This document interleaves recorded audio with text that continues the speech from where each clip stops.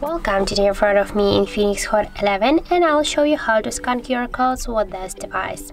So um, here as can you see I got the example of the QR code and now just to activate the QR code scanner here you should go into the camera application and then click here on the left upper corner. Here you'll see just the QR code uh, switcher just have a possibility to scan the QR codes with your device camera. Click here once on the switcher now just go back here to the camera.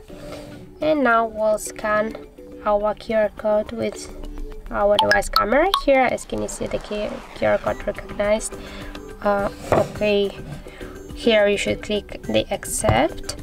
We'll go with our mail here. And as can you see? That was the example of the uh, Wikipedia link.